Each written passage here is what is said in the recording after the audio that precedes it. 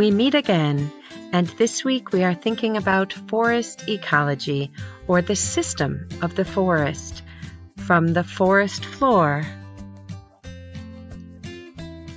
where so many plants grow beneath our feet, and animals seen and unseen scurry about.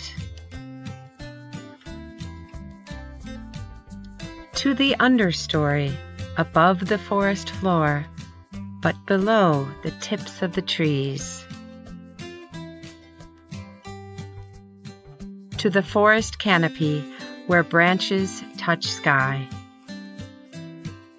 Let's begin at our vernal pool, the sit spot where we return each week.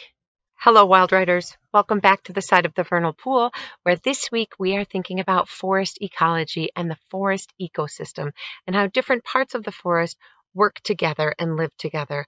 We learned on our field trip this week to Sheldrake that the forest is like a town, and within that town, there are different neighborhoods. And within those neighborhoods, there are different smaller homes, just as we have a town we live in a town, in a neighborhood within that town, and a home within that neighborhood. So we are thinking about the forest this week, and I'd like to begin by reading a poem, the first poem from my first book, which is titled Forest Has a Song. And I wrote this because we do live right near the forest, and I love being out here. And I wrote this poem in the voice, voice of the forest. We talked about how you can write in the voice, not yourself. You can write as an animal, you can write as a plant, you can write as an object, or even a whole forest. And although a forest cannot write for itself, as a writer, I can pretend that the forest can and that I am the forest, giving it some human qualities. Um, this poem is titled Invitation. The book was published by Clarion in 2013 and illustrated by a woman named Robin Gourley, an artist named Robin Gourley. So I'd like to share this with you to begin our adventure together this week. The poem is called Invitation. Today I heard a pine cone fall. I smell a spicy breeze. I see forest wildly waving rows of friendly trees. I'm here. Come visit, please. And I feel often like nature does want us to visit. And I know that every time I come out to nature, I visit nature, I sit outside on, on the step outside my house, or I look outside the window or open it up to let some fresh air in, or actually sit in the woods or beside a creek. I know that the forest gives something to me. I know that nature changes me a little bit. And, and so this week we will think about the forest ecosystem together in our nature journals. Our vernal pool neighborhood is full of water, sticks, and decaying leaves. What animals live in here? As I look at the vernal pool here, I'm wondering if I gently some of these leaves, if I will see a change, you can see the water becomes cloudier. But is there anybody in there? Does any creature have a home who might peek out?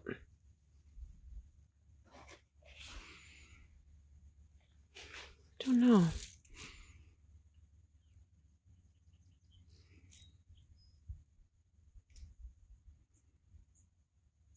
See the maple leaf there?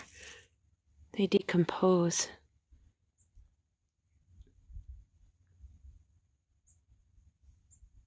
I know there are critters there, but I am clouding up the water.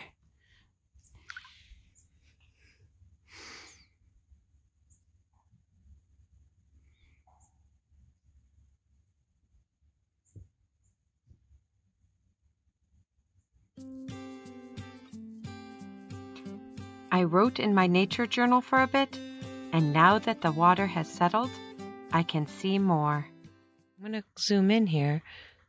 I can see some really teeny creatures swimming around there. I don't know what they are, but look how fast they are and look at them go. I might need to look them up when I get back. curious about whether they'll turn into something else or whether they are what they are.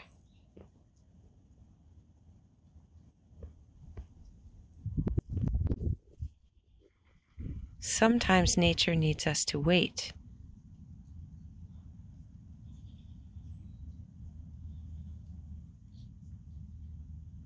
Ooh, I see new things.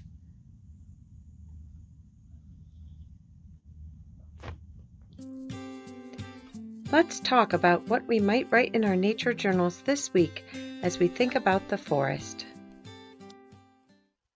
Hello, kindergarten and first grade writers of Mamaroneck. I have been here by this decomposing log, writing on my tummy, um, lying down, looking at what I could notice. And I did my drawing this week along both pages. You can see this log that is turning back into dirt has this part, which is still pretty much looking like a tree limb, and then here where it's all decomposing. And if you've ever found um, a rotting log or a branch, one thing you'll notice is it's not as hard as the wood used to be. It, it is really turning into soil like this. And we have a funny story in our family where one of our children, my husband and I went on a hike and we came home and our child had been playing with a friend and we had brought her a little piece of rotted wood so she could feel how soft it was. And when she felt it, she said, I like playing with rotted wood more than I like playing with that little girl. So we always laugh, even now that she's in her 20s. So it's interesting to feel things in nature. And I just in front of you right now brought that little bit of wood even closer to becoming soil. So I drew this here. And then this week I'm focusing on my senses. And I encourage you to do the same. What do I see? What do I feel? What do I hear?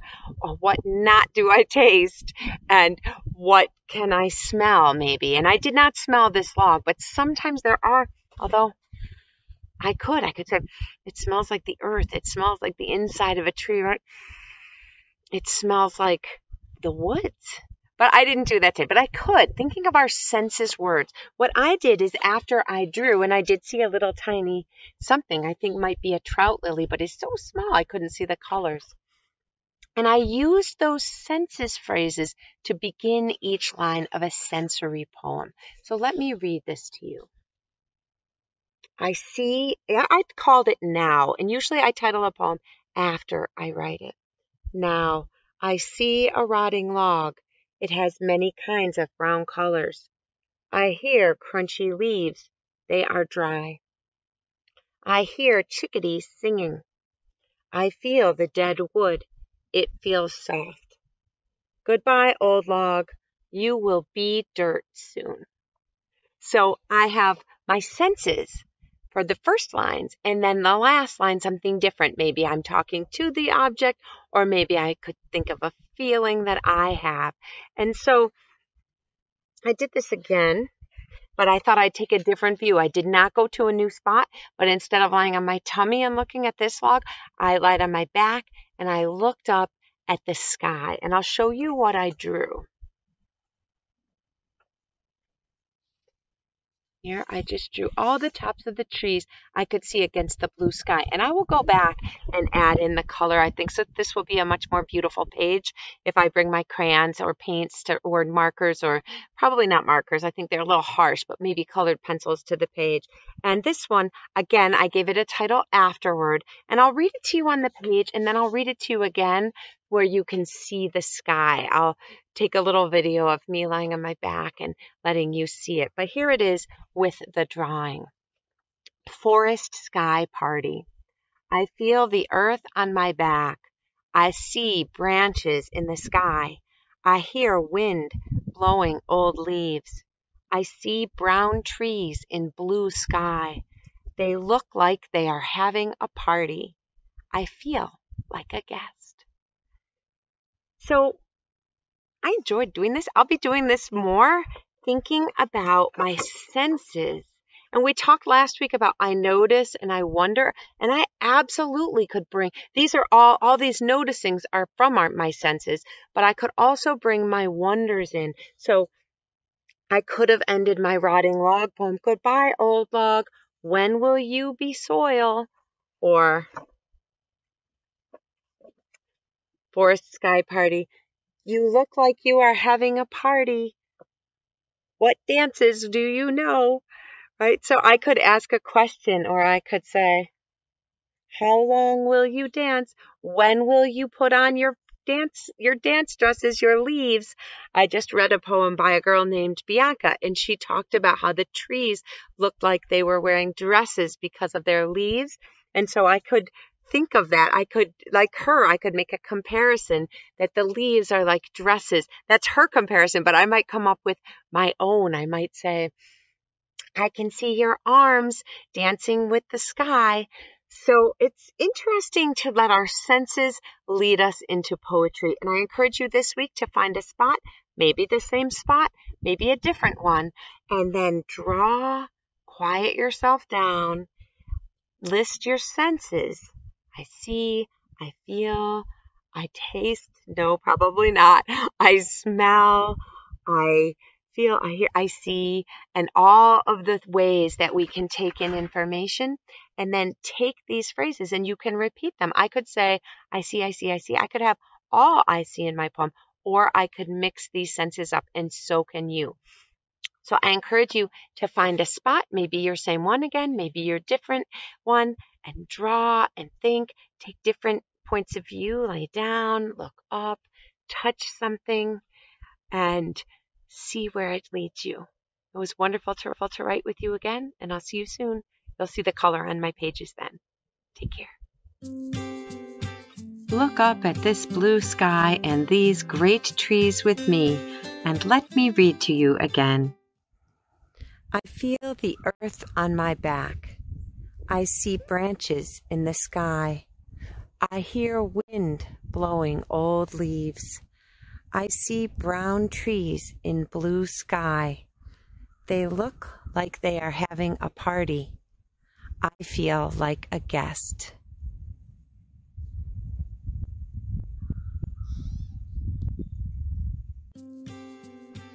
Our senses can help us write in our nature journals.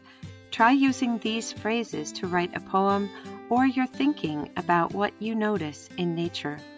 I see, I hear, I smell, I feel, I know. And know that as you do this, you certainly may repeat the same line over and over. Keeping a nature journal is one way to meet and understand the forest. I wish you joy as you explore our natural world, bringing sketches and writings, photographs and paintings, rubbings and facts together on the page. We can write on a carpet of crunchy leaves or beside a burbling creek. With our crayons, we can capture the shadows of branches as they fall on our nature journals. As the trees tower over us, we can ask questions. We might notice little things. We can feel textures and know the earth with our hands and our hearts. As you look out of your windows and spend time outside, think about the living and the non living parts of nature. If you can, visit a forest and think about how all of the living and non living things work together, just like a town does. We are all part of nature.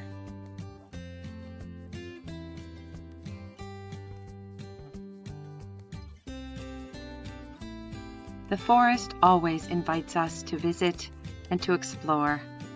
The forest invites us to write wild.